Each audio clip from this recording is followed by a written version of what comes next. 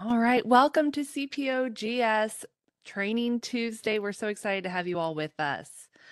All right, the first things that we're going to cover or are on our agenda today are our updates and reminders.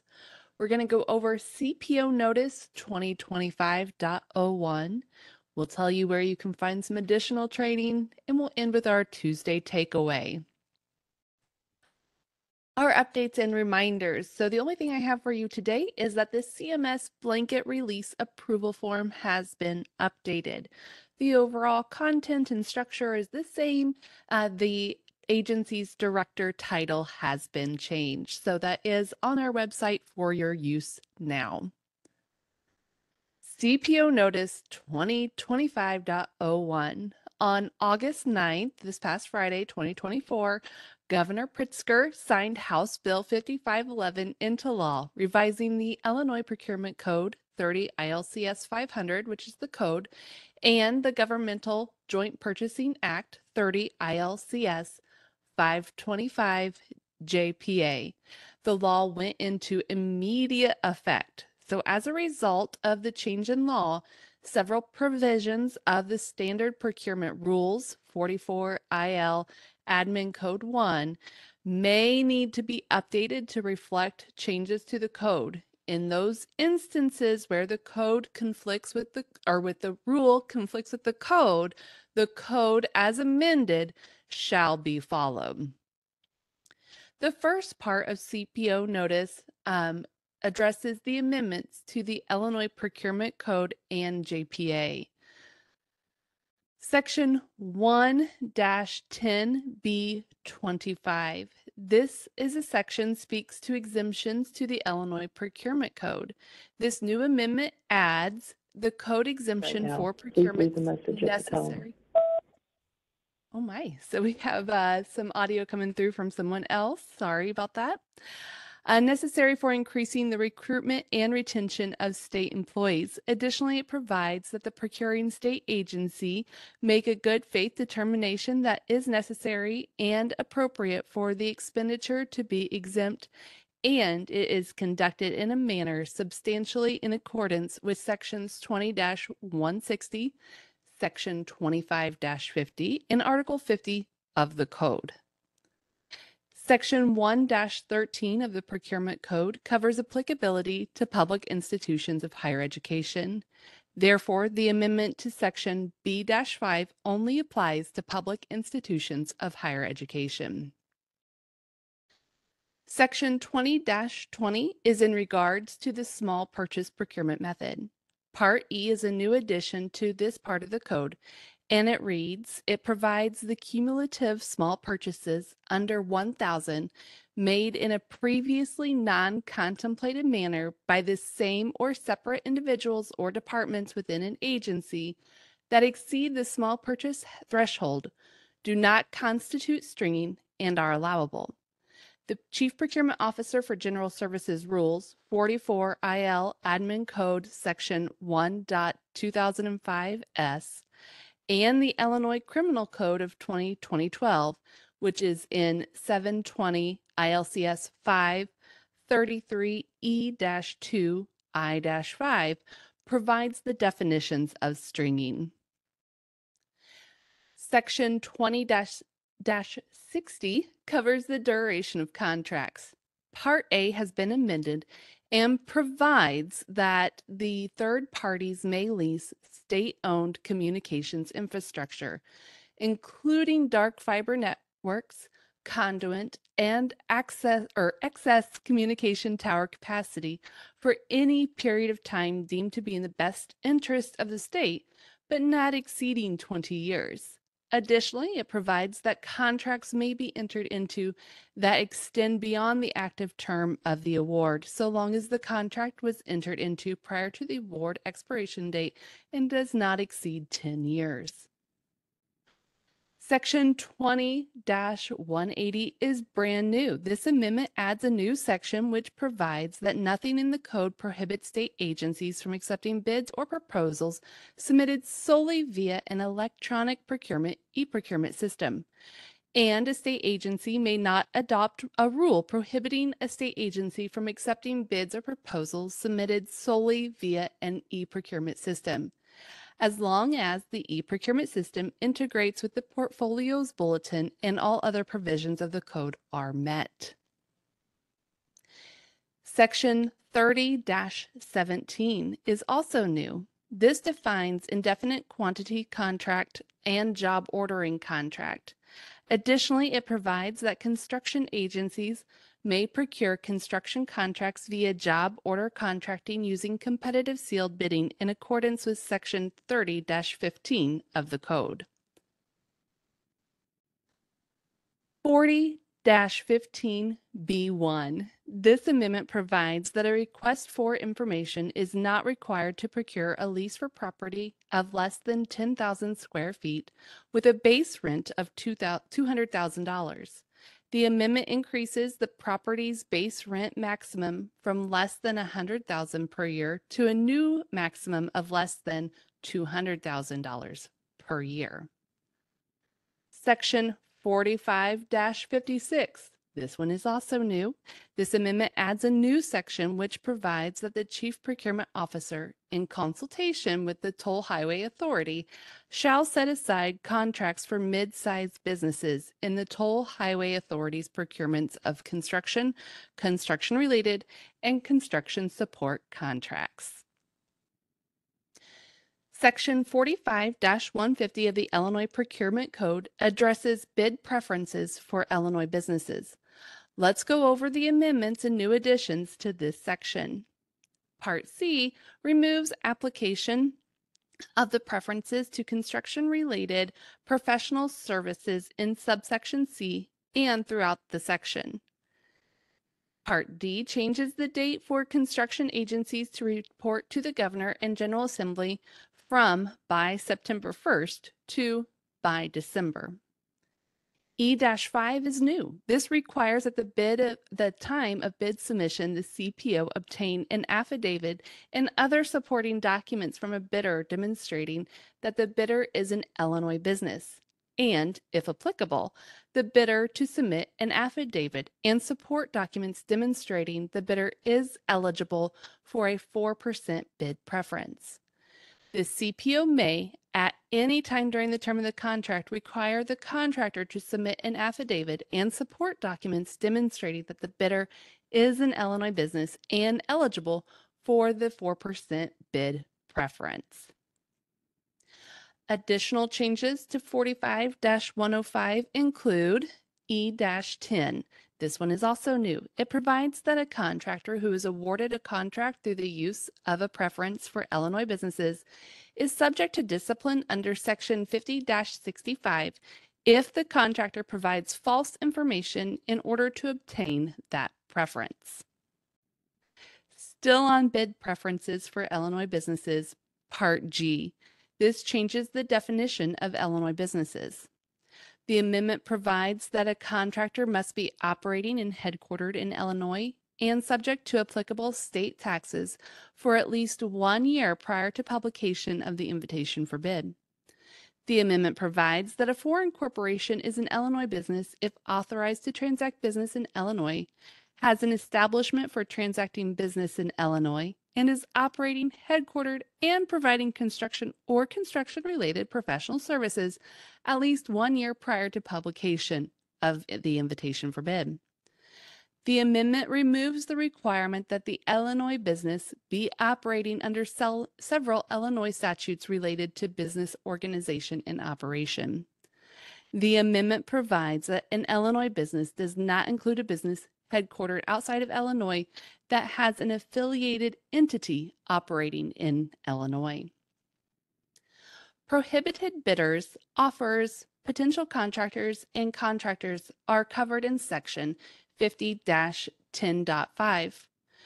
Part E now provides that a person or business is not prohibited by Section E from submitting an unsolicited proposal under Section 19 of the Public-Private Partnerships of Transportation Act. Section 50-39 covers procurement communications reporting. House Bill 5511 made amendments to Part A. These include amendments change the type of communication that is excluded from reporting. Amendment of uh, five or four, sorry, provides that communication of a firm's products or services are excluded provided the products or services are not directly related to an open procurement matter. Additionally, it removes the requirement that such communication be unsolicited. Amendment adds a new subsection and exclusion from communication reporting for communication about proposal deficiencies as provided under Section 35 of the Ar- Architectural Engineering and Land Surveying Qualifications Base Selection Act 30 ILCS 535. This is a newly added section of the code. It provides that the CPO may cure a violation or deficiency in a procurement when she determines it is in the best interest of the state. The amendment requires that both the state purchasing officer and head of the agency shall request the cure.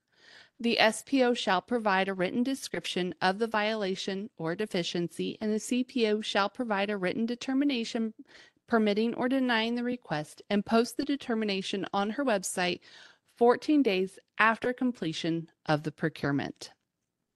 Now that we covered the amendments and additions to the Illinois Procurement Code, let's do a summary of some statutory changes outside of the Procurement Code. The Governmental Joint Purchasing Purchase Act had a new part added to A-15. The amendment adds a new section which provides that the Chief Procurement Officer may authorize any state governmental unit to purchase or lease supplies under a contract procured by a state agency. The CPO shall consult with the state agency before making the contract available. The UPP, which is our Unified Procurement Program, will facilitate the process for any governmental unit seeking to purchase or lease supplies under this subsection. The Governmental Joint Purchase Act was additionally amended in Part 4. The amendment provides that purchases, orders, or contracts shall be awarded to the lowest responsible bidder or highest ranked offerer as ranked by a cooperative purchasing program like UP. If the cooperative purchasing program has not ranked the bidders or offers, then the governmental unit making the purchase shall rank the bidders or offers by determining that the selected contract best meets the governmental unit's needs. When a supply or service is available on contracts from multiple contractors, the amendment provides that a governmental unit may determine a contract best meets their needs and select to use the contract. Article 1 of House Bill 5511 creates the Progressive Design Build Program Act. The Act provides that the Capital Development Board shall establish the Progressive Design Build Pilot Program to use the Progressive Design Build delivery method for up to three public projects if use of that project is still in the state's best interest. The Department of Natural Resources Act was amended as follows in Section 1 20. Uh, Part B changes the maximum length of time that the Department of Natural Resources may lease certain land or property under its jurisdiction from five to 10 years. Part C is new. This amendment adds a new subsection which provides that the Department of Natural Resources shall competitively bid any project authorized pursuant to the subsection pursuant to section 20-15, 20-10C, and 20-10F of the Procurement Code. The amendment adds other requirements as well. 20 ILCS 805-805-280. This is the Civil Administrative Code of Illinois, the Department of Natural Resources Conservation Law.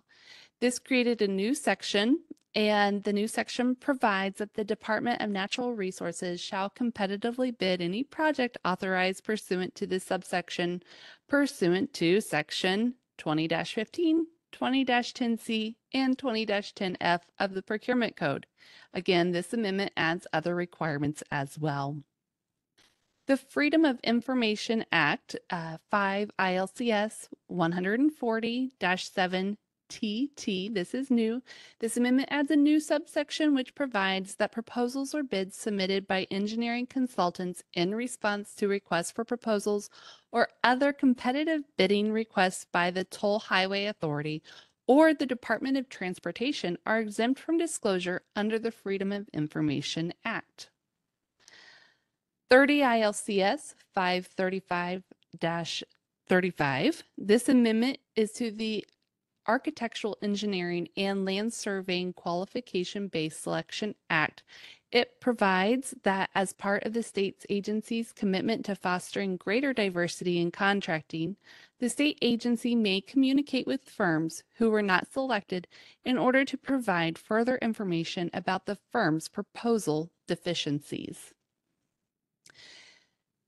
20 ILCS 3407 45-5. This amendment provides that the procurements to develop, finance, con- construct, lease, manage, divest, ownership in, and operate the Hotel Florence and the Pullman factory on behalf of the state shall be pursuant to the reimaging, reimagining Hotel Florence Act. That was a lot to cover, but please note that the CPO notice provides a summary of House Bill 5511 and does not provide all details you should review the new legislation.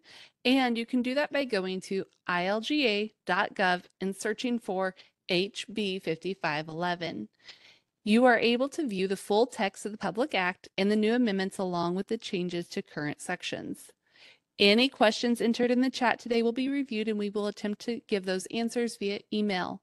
The best way to get your questions answered, though, and how they affect your agency is to talk with your SPO. Please make sure to visit our CPOGS Training Center for more training opportunities. We have the following um, that are related to BidBuy. We have our diversity and inclusion in procurement training. You can find access to that OneNet training in CPO Notice 2024.04. We have our monthly BidBuy training happening tomorrow virtually, and we have our practice session the second uh, Thursday of each month. In addition to those, the CPOGS Procurement Training Academy offers three courses that are approved by UPPCC for contact hours. Registration for these courses is required. Please visit our training center for all upcoming dates. Uh, the dates that we have available this year, this calendar year, are going fast. With that, I am going to turn it over to Nancy. Good morning, everyone. Um, today we are going to share an idiom, and that idiom is fly off the handle. The meaning is to become suddenly enraged. Uh, the origin of this idiom is um, from the 1800s when some axes were so poorly made that when swung, the axe heads would literally fly off the handle. We encourage you to not fly off the handle this week and remain calm and always review any of your emails or anything before sending. Give it some time. Have a great week. Thank you so much. All right. Again, if you have any questions, you can send those over to cpogs.training at illinois.gov. If you have anything specific for your agency, talk to your individual SPO. Thank you all so much and have a wonderful week.